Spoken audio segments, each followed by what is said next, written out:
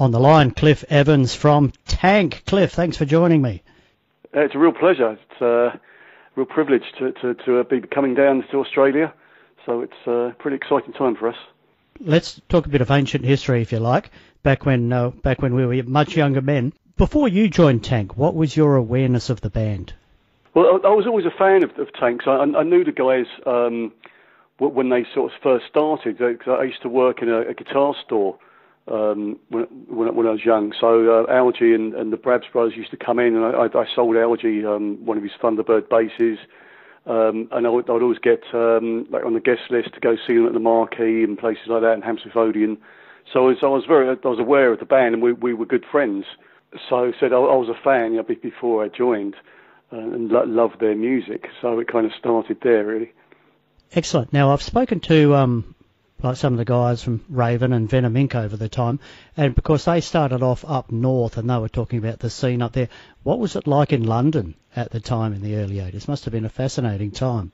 Yeah, it, it was. I mean, from, from you know late 70s, early 80s. I mean, I used to I used to go and see absolutely every everything then, and I I'd lived. Um, I lived pretty much in central London, and there were just so many pubs and, and clubs, and obviously all the bigger venues. There were just bands everywhere. There, there was a, a pub just around the corner from where I lived. It was called the Brecknock. Um, and now it's like seven nights a week you could go there and, and see you know good metal rock bands or blues bands.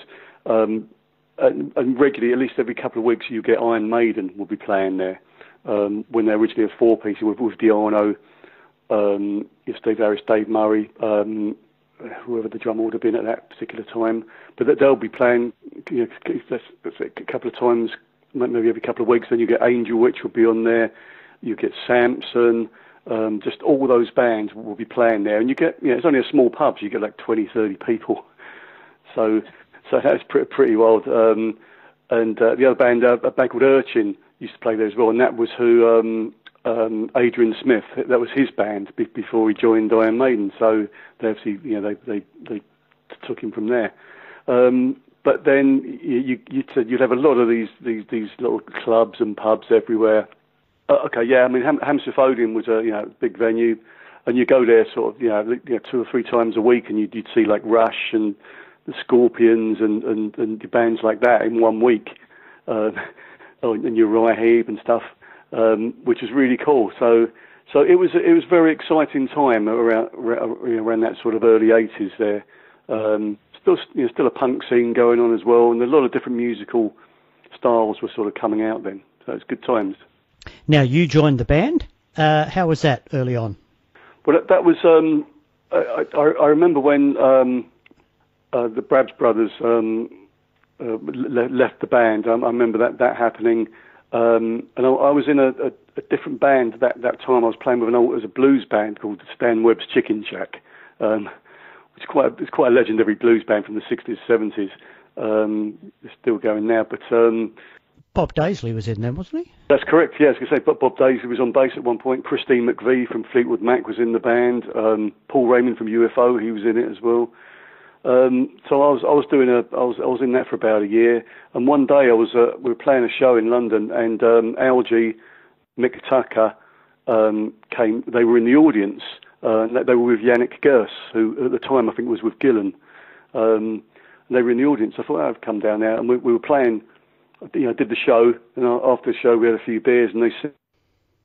Now you've joined the band after um, Algy and um, Mick have uh, rocked up at a show. That, that, that's right. Yes, it was that, that chicken show, that chicken shack show that I was, I was doing. Said after the, after I'd finished that show, when I've had a few beers with them, and um, and uh, they said because Pete, Pete Brabbs had gone and Mark Brabbs, they said, uh, do, do, you want to join Tank? So I mean, there was no audition or anything. Um, I think it was just like a quite a few beers, and the, and the deal was done. And you know, literally the next day we were in the studio recording um, Honor and Blood, um, and and that's it. And I'm, I'm still here now. What's the main memories of those days? I, I think. Um, I mean, when we go in to record on Blood, soon after that, we we um, we got offered the Metallica Ride the Lightning tour, um, which was a pretty big thing. I'd never really done a proper full-on t- tour before, so it was like six re- six weeks um, all over Europe, um, supporting Metallica, who were just getting really big right then. Um, so that was really cool to, to, to get out on tour on, on that sort of level, on a higher level there, and played some you know pretty big shows to a lot of people. And uh, you know, Metallica they asked for us to be on the tour because they were they were Tank fans. Um, so that that was a really cool thing. That that's a real highlight of, of, of their whole careers, I guess. Um, but uh, yeah, good times. I mean, just to be able, you know, when you're sort of young, to get out and hit, hit the road in a tour bus and play your guitar every night and have a few beers. So that that was uh, that's a, that's a real highlight. How different is it to going out on the road these days? I mean, we're older, supposedly we're wiser. Does it feel different? Um, I mean, I, I still I, I still enjoy it. I mean, it's um, it's difficult when, when you got you know you got guys you've got to sort of try and try and make a bit of a living out of it. Um, your budgets have sort of come down a bit. You've got to, got to try and cut cut costs here and there. Um, so it, it is difficult, but we still once we're out there, all the problems or whatever. As soon as we get on stage, we do really enjoy it. We have a good time, then a few beers afterwards. So it's still great hanging out with your mates and, and playing guitar. So it kind of kind of takes you back a bit, which is you know, still very enjoyable. That's why we still do it, really, um, and we'll, we'll continue doing it. Between the years, we're still 18, mate. Exactly. That's the way you feel. Like when you're out there, still feel like a kid. That's it. What's the funniest thing that's happened on tour? Too too many things to. I mean, every every day when you got these guys to get together, it's it's all just a laugh all the time. Um, you know, even just just just travelling. I mean, I'm sure we you know flying to Australia now. There's a few things going to happen, and we just have a good time. We always have a few beers, and it's just a laugh. It's like kids on a school trip, really. That's the way we look at it.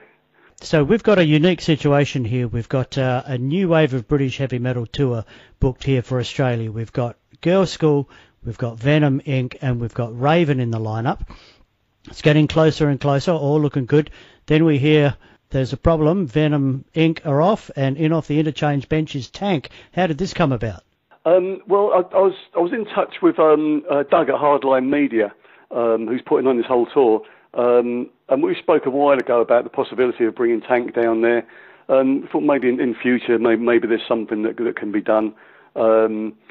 So we kind of left it at that. But then I, um, I got a message from Doug. He said um, uh, um, there was a problem with Venom Inc. I think one of the guys had uh, uh, uh, was ill or something, and they've had to pull out. So Doug got on to me and said, "Can can you guys do it?" Um, so I had to get in touch with um, with the other guys from the band because some of those were pretty busy. So we shifted schedules around a bit, and then we said, "Yeah, okay, we're in. We've got to do it." So um, so so it kind of went from there really. So then we were confirmed, and uh, that's it. So it was a nice surprise. It is a nice surprise. How busy is the band these days? Um, I mean, you can never be busy enough, really. I mean, we've got. Um, I mean, now we just we just did this album there, and we've we've had. Um, that, that there's some other dates have been in for a while, but now this is coming just before uh, we go to uh, July. Uh, so, so we go to Japan in July um, for three shows. So it's the first time we go back there for like 20 years. Um, so that's going to be cool. And then after that, we do South America. So that's the full Latin America tour. Um, and then we're looking at Europe um, at some point um, uh, in late autumn. So we're really just trying to keep as busy as possible. It's, it's very difficult trying to keep a band on the road these days um, with costs and everything. And we all have to, you know, we've got to make some money out of it just to keep things going and pay the bills. Um, but it's, it's kind of looking good at the, at the moment. I mean, these, these, are good shows. I mean, having Australia come in now is fantastic. Um, so, so there's three good territories in Australia, Japan, and South America.